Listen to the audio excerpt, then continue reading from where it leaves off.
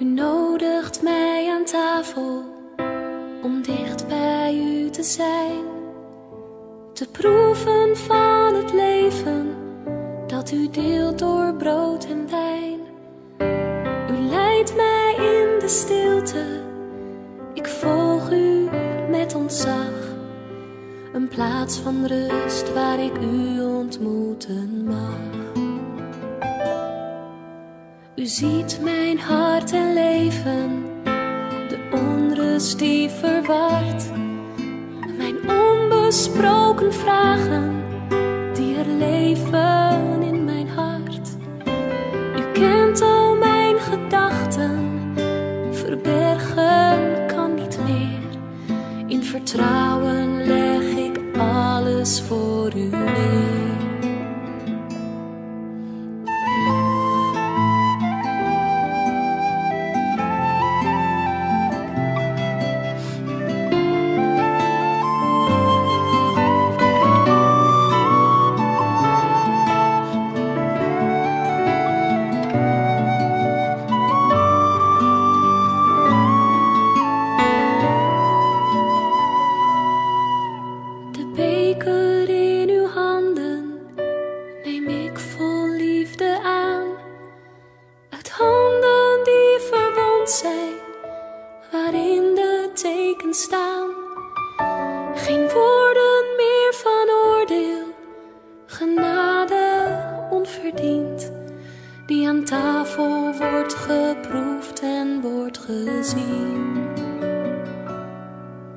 U deelt met mij de maaltijd, reikt mij verzoening aan.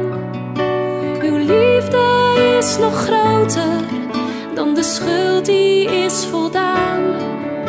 U toont mij uw genade, die werkzaam is in mij.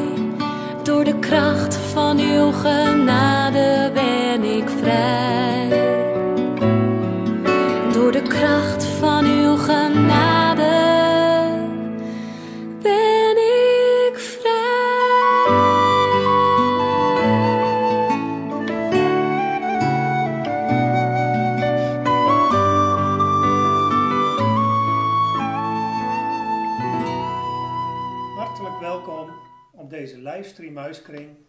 van onze gemeente De Morgenster uit Urk. Wat is het toch fijn om gemeente te kunnen zijn. Zelfs al zijn we nu niet lijfelijk bij elkaar, we zijn toch met elkaar verbonden. En niet alleen door de techniek, maar bovenal zijn we verbonden in één geest in de naam van de Heer Jezus. Normaal gesproken beginnen we de kring altijd met een lekker bakje koffie wat lekkers erbij, een stukje gezelligheid. Maar helaas is dat nu niet mogelijk. Maar door een huiselijke setting te creëren, proberen we toch die huiselijke sfeer een klein beetje terug te brengen. Laten we beginnen met gebed. Vader in de hemel, we danken u wel dat we op deze manier met elkaar verbonden mogen zijn. Heer, en dat wij altijd door uw geest met u verbonden zijn. Vader, en wij zegenen deze avond en we zegenen elkaar en we danken u dat uw trouw en uw liefde ons nooit verlaten. En we mogen zo weten dat wij ook in de huidige omstandigheden waarin de wereld verkeert, dat wij geborgen zijn in uw hand. Zo zegenen we elkaar in de naam van Jezus. Amen. Broeders en zusters, we pakken de draad gewoon weer op met het uh, kringboekje, wat we altijd gebruiken. En we waren gebleven bij les 4. En vorige kringavond hebben we samen avondmaal gevierd. En wat was het fijn om te denken dat de Heer Jezus alles heeft volbracht. Dat hij al onze ziektes, zwaktes, zonden heeft gedragen.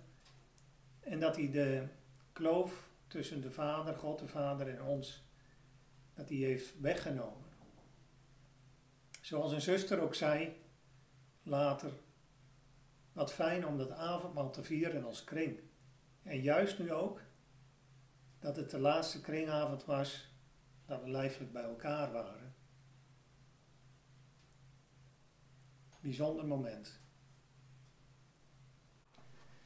Het thema van deze les, les 4, dat is liefhebben door gebrokenheid heen. En we lezen eerst uit de brief aan de Filippenzen, hoofdstuk 2, vers 1 tot en met 4. En dat lezen we uit de nieuwe Bijbelvertaling. Filippenzen, hoofdstuk 2, vers 1 tot 4. Daar lezen we, nu u door Christus zozeer bemoedigd wordt en liefdevol getroost, nu er onder u zo'n grote verbondenheid met de geest is, zoveel ontferming en medelijden, maak mij dan gelukkig door eensgezind te zijn, één in liefde, één in streven, één van geest. Al dan niet uit geldingsdrang of eigenwaan, maar echt in alle bescheidenheid de ander belangrijker dan uzelf. Heb niet alleen uw eigen belang voor ogen, maar ook dat van de anderen. Tot zover. De brief aan de Filippenzen, dat is een bijzondere brief. Het is een bron van vreugde en bemoediging voor de eerste christenen uit het jaar ongeveer 50 na Christus. En die het niet makkelijk hadden, die in moeilijke omstandigheden verkeerden. Filippi had geen synagoge. En wat bijzonder is, is dat de gemeente uit Filippi die bestond uit een aantal huiskringen. Verschillende huizen waar christenen bij elkaar kwamen om een geloof te delen en samen met elkaar bijeen te komen. Een voorbeeld van zo'n huisgemeente, zo'n huiskring, dat was het huis van Lydia de purperverkoopster, die we allemaal wel kennen. En die ook door Paulus tot bekering was gekomen. Dus eigenlijk heel passend bij deze huiskring livestream. Paulus was heel blij met de gemeente.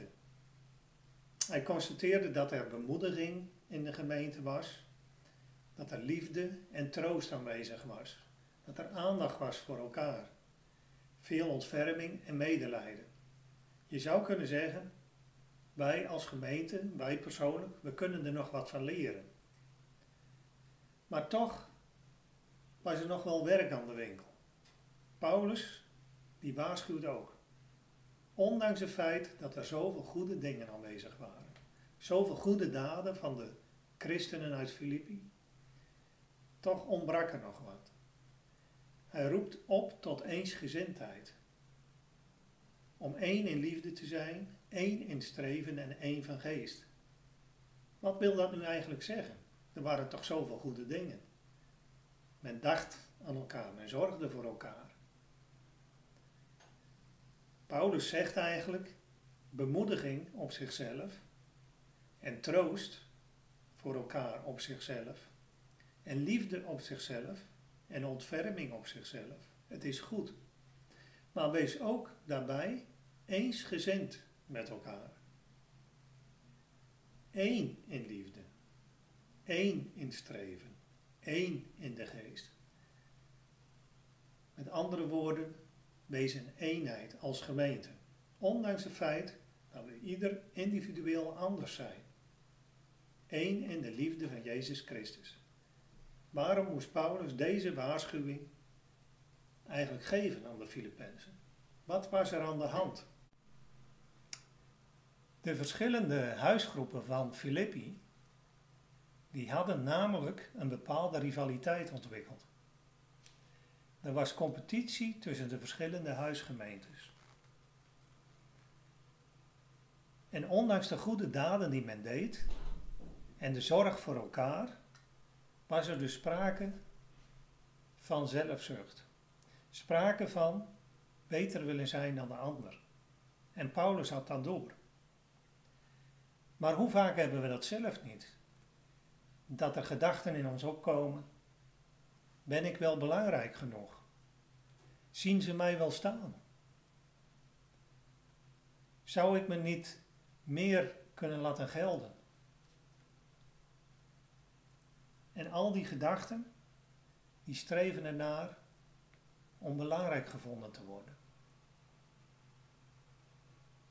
En we zijn allemaal belangrijk in de ogen van Jezus. Dus het is niet nodig dat we daar zelf iets aan toevoegen. Maar Paulus die roept op om oog te hebben voor het belang van de ander.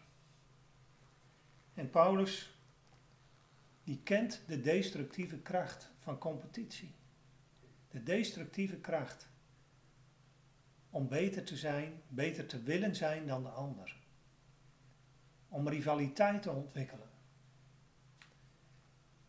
Het is ook een gevaar tussen leiders met een eigen visie om rivaliteit te ontwikkelen onder elkaar.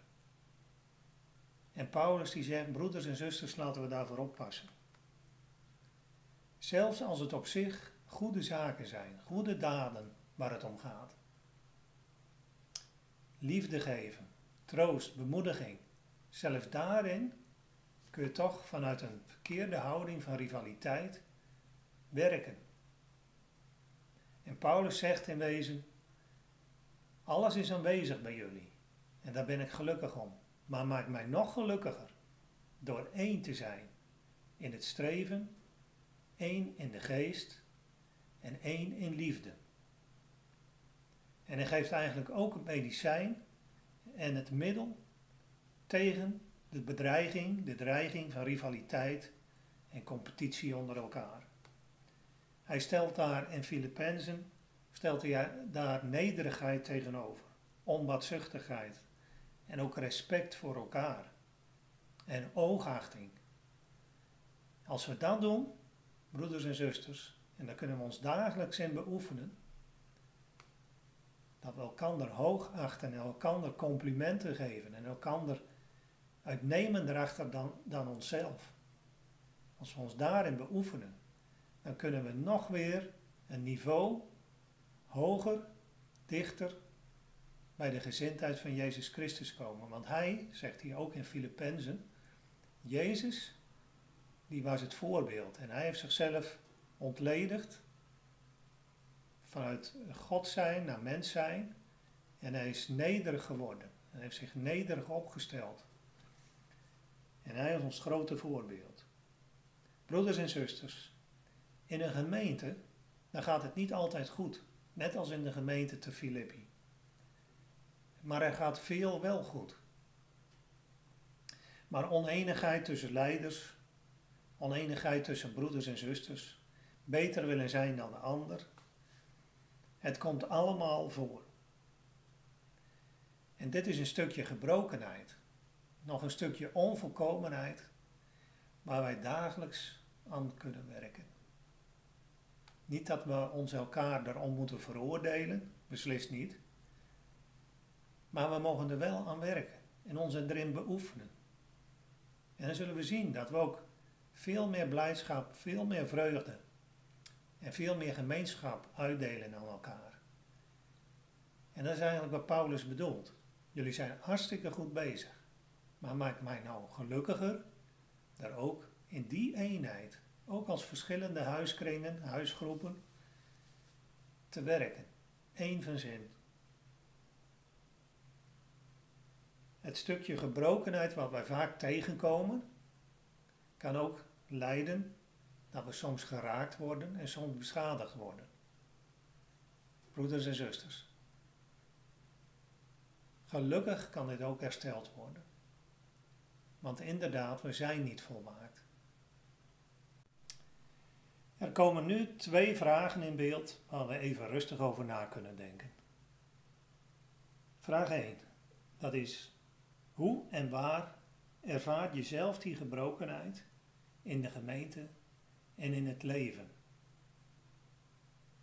Soms ben je te hard geraakt door de gebrokenheid en zit er pijn of teleurstelling of verdriet.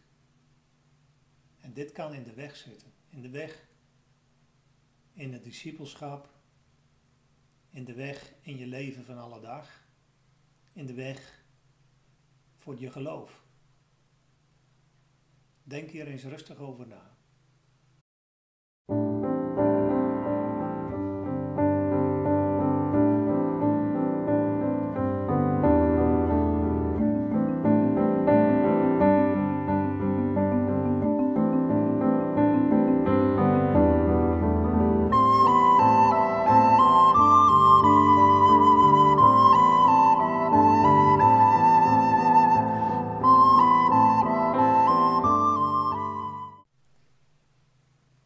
Vraag, die luidt als volgt.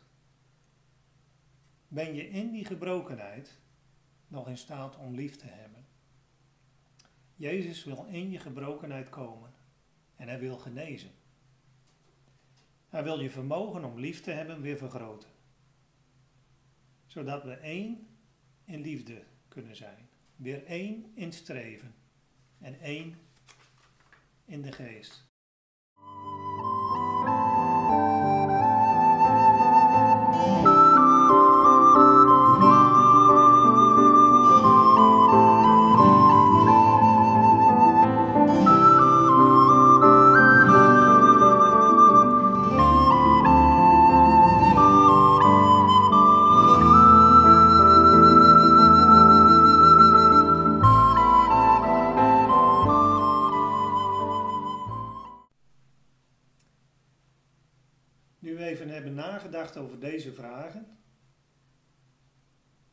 Dat u de vragen ook in uw persoonlijke gebedsleven voor de Heer neerlegt. Dat u uw gedachten bij Hem brengt. In het vertrouwen dat Hij er wat mee doet. Dat u al uw twijfel, al uw verdriet, al uw teleurstelling, uw pijn, voortdurend bij Hem brengt. Zodat het niet tussen u en God in kan staan, maar ook niet tussen u en anderen. Samenvattend zegt Paulus dus: Het is heel goed om een basis van liefde, van troost, bemoediging, van zorg voor elkaar, om die in de gemeente te leggen. En we bouwen daar ook dagelijks aan. Maar pas op dat we in dit streven om zo goed mogelijk Jezus te volgen geen zelfzucht, geen competitie, geen rivaliteit toelaten. En daarom geeft Paulus een middel, een remedie tegen die dreiging.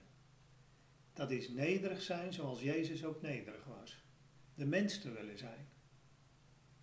Ten tweede, om respect voor elkaar te hebben. Hoogachting naar ieder ander toe. In ieders hoedanigheid. Iedereen is weer anders. En tenslotte, houd oog voor elkaar. Oog voor elkaars belangen, net als voor je eigen belang. We hoeven het eigen belang niet uit te schakelen.